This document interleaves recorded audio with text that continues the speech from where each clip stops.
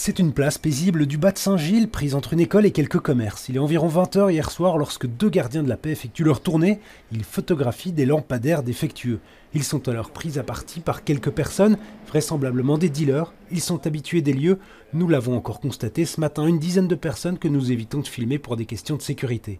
Un échange bref, quelques menaces, avant une autre altercation à quelques centaines de mètres de là. Ils se sont malheureusement, et c'est catastrophique, euh, fait agresser. Euh, dans le dos, ils ont été roués de coups et ils ont été euh, gazés aux alentours de 21h. Les deux agents sont alors amenés aux urgences pour y passer une partie de la nuit. Aujourd'hui, leurs collègues ont repris le travail, les tournées ont été modifiées, fini les postes fixes dans certains quartiers problématiques, l'inquiétude et l'impuissance dominent. Sur les centres de deal, nous ne sommes plus sur un rôle préventif. Euh, nous sommes vraiment sur des thématiques sécurité où seuls nous ne pouvons pas agir et même au-delà de ça, le pouvoir local à lui seul ne pourra pas avoir d'influence. Pour les autorités communales, une nouvelle ligne rouge a été franchie. C'est un secret pour personne.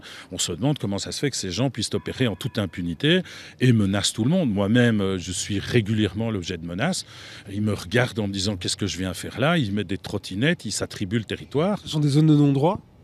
Non, parce qu'à côté, il y a la vie, il y a des enfants qui passent, des trottinettes, c'est surréaliste. En fait, nous vivons tous, Saint-Gilles, c'est vraiment super.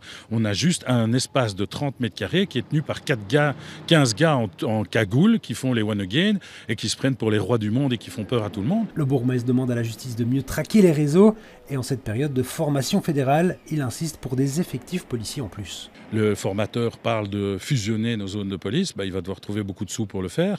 Mais nous, ce qu'on veut, c'est surtout que nos policiers soient affectés dans nos quartiers, qu'on arrête de les requérir partout et qu'on vienne les renforcer. On veut des renforts. Il est difficile de comprendre qu'on n'a pas d'hommes sur le terrain, mais qu'on requiert, parce qu'on demande beaucoup d'aide au fédéral, donc on a une obligation de retour, qu'on utilise nos policiers en province du Hainaut, en province du Luxembourg.